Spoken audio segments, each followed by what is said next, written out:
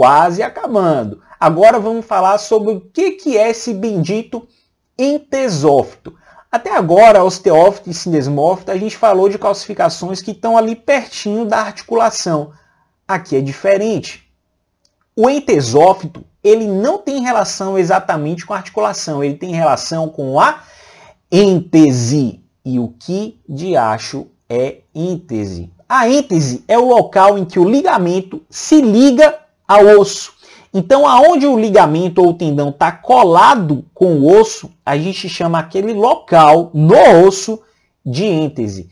E é ali que vai crescer o entesófito. Por quê, João? Por causa do estresse repetitivo, do trauma repetitivo ali. Então, o paciente tem um estresse repetitivo e acaba causando entesófito naquele local, por causa dos mini traumas. Ou por outras causas de artrite, por outras causas de inflamação sistêmica. E quais são essas outras causas? Calma. Você já sabe o farpo. Eu quero que você pegue três causas do farpo, três causas de sindesmófito.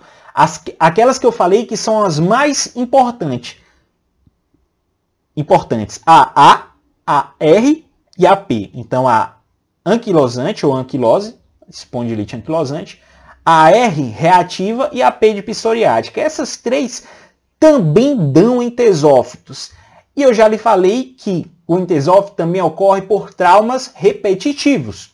Então, outra causa, na verdade, a principal disparado, trauma repetitivo, estresse repetitivo. Então, vamos lá. Causas de entesófitos. Trauma repetitivo, artrite idiopática juvenil, que era a outra que eu ainda não tinha dito a vocês é uma causa de inflamação sistêmica, artrite sistêmica. A anquilosante, espondilite anquilosante, a artrite reativa e a artrite psoriática. Então, dá uma olhadinha aqui que as calcificações bem no local em que o tendão, aqui o tendão do tríceps, está se ligando na una, ou seja, na êntese. Aqui o tendão do é, Aqui o tendão plantar e aqui o tendão calcâneo, onde está se ligando aqui no calcâneo, ou tendão de Aquiles, né? Um nome mais antigo.